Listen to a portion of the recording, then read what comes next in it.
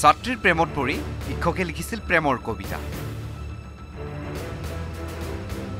সোতৰ বছৰীয়া ছাত্ৰীৰ প্ৰেমত চৌৱান্ন বছৰীয়া শিক্ষক।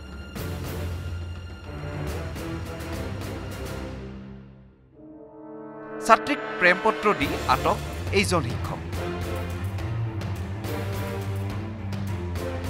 এইবাৰ শিক্ষক সমাজৰ নাক কাটিলে এইজন শিক্ষকে। পিতৃতুল্য শিক্ষকে সোতৰ বছৰীয়া ছাত্ৰীক প্ৰেম পত্ৰ দি অশ্লীল প্ৰস্তাৱ কৰাৰ অভিযোগ। মোৰ ছোৱালীক তেখেতে যিখন লাভ লেটাৰ লিখিছে তাৰমানে কোনো এজন পুৰুষৰ এডাল নোম বাকী নাথাকিব যে এনেকুৱা পুৰুষক দণ্ড দিব লাগে বুলি। উপায়ন্তৰ হৈ ছাত্ৰীগৰাকীয়ে পৰিয়ালক অৱগত কৰিলে। ভুক্তভোগী ছাত্ৰীগৰাকীৰ পিতৃয়ে আৰক্ষী থানাত তৰিলে গোচৰ। সেইখন আচলতে মই কৈ লৈছিলোঁ যে মই তোমাৰ ভাতটো দেখি পেলাই মই এটা কবিতা লিখিম তাৰপিছত তেনেকৈ চাহ তাহ খাই গুচি আহিলোঁ। গুচি অহাৰ পাছত তাৰপিছত চাহ তাহ খাই গুচি অহাৰ পাছত পৰি গ'ল যে মই নাজানো। শিক্ষকজন নৃপেন বৰা ওৰফে ৰঞ্জিত। পেছাত তেজপুৰৰ বান্দৰমাৰী শংকৰদেৱ জাতীয় বিদ্যালয়ৰ শিক্ষক। মাষ্টৰজনৰ নাম নৃপেন্দ্ৰ বৰা নে কেওট নে কিবা কিবি উপাধি। তেওঁ ভাই ককাই আছে।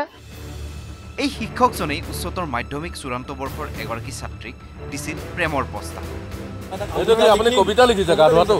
কবিতা লিখিম কবিতা নহয় মই কবিতাটো লিখিম মই বেলেগ টাইপৰ এটা কবিতা লিখিম আৰু। হয় হয় বেলেগ টাইপৰ কবিতা লিখিছে। কবিতা আৰু যিটো প্ৰেম ভাৱৰ যিটো থাকে সেইটোৱে লিখিম কিন্তু মই বা- হেৰিটো পাছত মই এইটো বনাম। সেই তেনেকৈ ড্ৰাফটো বনাই পেলাই থৈ পেলাই মই কবিতাত ভৰাই দিম।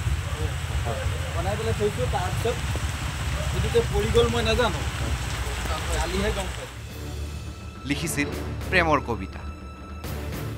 অৱশেষত ছাত্ৰীগৰাকীয়ে কথাটো অৱগত কৰে পৰিয়ালৰ লোকক। ভুক্তভোগী ছাত্ৰীগৰাকীৰ পিতৃয়ে বেবেজীয়া আৰক্ষী থানাত দাখিল কৰা এজাহাৰৰ ভিত্তিত মঙলবাৰে নিশা আটক কৰে এইজন শিক্ষকক। তেজপুৰৰ পৰা হেমন্ত কুমাৰ নাথৰ ৰিপৰ্ট নিউজ এইটিন অসম।